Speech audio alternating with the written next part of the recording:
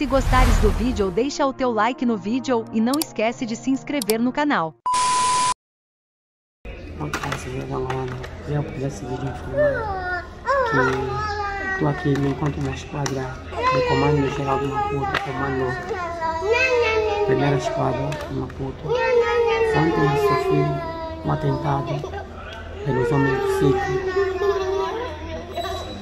Aqui em Maputo, para me pôr no porta-bagagem do carro.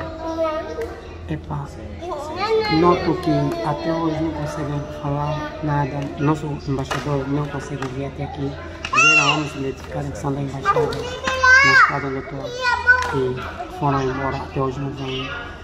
Noto que são, man, são, man, são homens mandados pelo nosso homem forte de Angola, só Laborinho, porque não é possível o nosso Estado, o nosso governo, haver essa perseguição desde Angola. Dois meses, esse é o terceiro mês, eu pedi socorro. Até agora ninguém, ninguém fala nada, o meu governo não fala nada. Será que não está ver que um cidadão angolano, uma mulher grávida, com dois filhos, fugir mata, a tudo por causa da denúncia que eu fiz do narcotráfico? Sim, nós estamos a apelar ao senhor presidente que nada tem feito sobre essa situação, porque já são dois meses nós a fazermos as denúncias, nós a fazer os pedidos de socorro. E até agora o Estado angolano não se pronuncia nem nada, não nos dá nenhuma proteção e nós estamos foragidos do, do, do, do nosso governo porque os homens estão envolvidos no, no narcotráfico, que são homens fortes na polícia de Angola, na, na investigação criminal, estão a nos perseguir. Ontem, conforme o marido relatou, nós sofremos atentados. O meu marido estava para ser sequestrado. Nós a saímos do restaurante por volta das 16 horas por homens civis fortemente armados e até agora nós estamos aqui na esquadra, na primeira esquadra de Maputo. Até agora não temos atenção ninguém. Pediram o nosso embaixador se fazer presente aqui, o nosso embaixador não se fez presente, mandou homens, mas esses homens não se identificaram, vieram, viram e disseram que o embaixador estava a vir e até agora nada. Recebemos informações que ele iria vir quando eram 9 horas e ele não veio e nada tem feito. Senhor Presidente, nós estamos a pedir, porque nessa situação tem crianças, tem uma mulher grávida, somos teus cidadãos e nós estamos a pedir o máximo apoio teu para nós podermos resolver essa situação, Senhor Presidente. Nós precisamos da tua proteção porque nós estamos vulneráveis. Então, nós estamos a apelar ao Senhor Presidente. Será que o Senhor Ministro do Interior é tão homem forte assim que não pode ser mexido? Porque nós estamos vulneráveis. Então, nós estamos a apelar ao senhor presidente. Será que o senhor ministro do interior é tão homem forte assim que não pode ser mexido, que faz perseguições em crianças? Crianças, estamos aqui na esquadra a dormir em condições precárias e até agora não temos esclarecimento, não temos nada. Então, senhor presidente, por favor, resolva esta situação trata dessa situação como tem que ser, senhor presidente, porque há muitas famílias a sofrerem com este tipo de situações.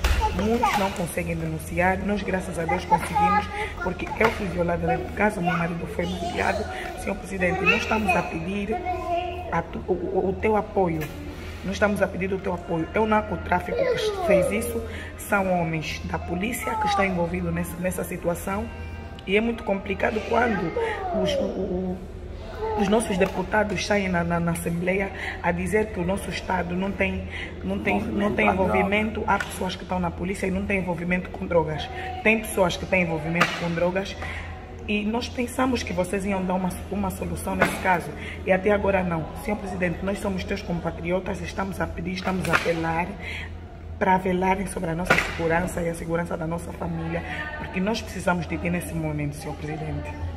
Eu que fiquei estranho, achei muito surpresa. É que dentro do restaurante estava o comandante da polícia daqui de Maputo. Achei estranho ela me olhar muito. Mandei a minha mulher fazer uma foto, pá.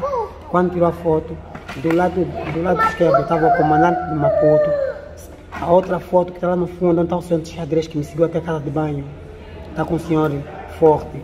Vê bem, são dois membros da, da polícia forte aqui em Maputo mas sentaram em mesas diferentes. Quando nós pedimos socorro, eles também Pediam não se socorro, pronunciaram. Se pronunciou. Levantaram, saíram todos em clandestino. Um foi para a mesquita, outro foi para a geladaria e o outro subiu no carro e foi embora. Começo a dar conta Se que tem a mão do nosso ministro do interior. Vê, se eu aparecer morto, seu Laburinho, é por as denúncias que eu tentei te ajudar do narcotráfico. Só tentei te ajudar, seu presidente. Porque o povo sabe que não tens a mão nisso, nas drogas. As drogas vão destruir o nosso povo. Mas se tentei ajudar e você me ajuda dessa maneira, que Deus vos ajuda, seu presidente.